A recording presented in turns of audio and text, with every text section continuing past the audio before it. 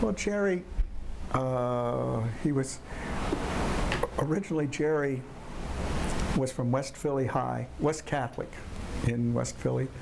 And uh, in those days, at, at 16, you could leave school. And Gerry was very unhappy with his own uh, family, and he left school.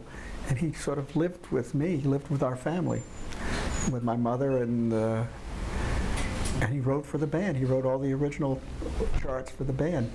And then, and as I said before, until he left my band and went with Gene Krupa.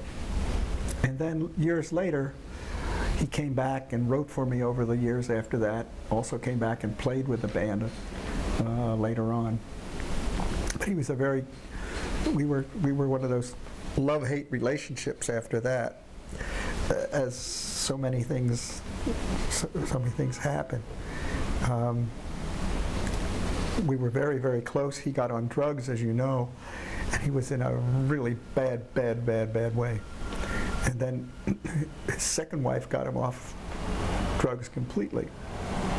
And uh, then what, what really was a big argument and fights we had was were that even though when he couldn't work anywhere else, I always hired him and had him write for me, and he signed contracts for all these pieces that that uh, I, I published those pieces.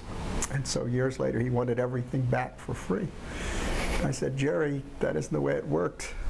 That, that I published that music. That was that was our relation. That was our problem. But then, at the end of his life, he became my friend again. And when he was dying, his wife said, it, "I was one of the, just like you're talking about your father's early life." She said he talked about his early life. That was the best part of his life. And uh, so I talked to him, and talked to her, talked at his funeral, and. Uh, so, you know, it's very interesting, a relationship that went back uh, um, over at least 30 or 40 years.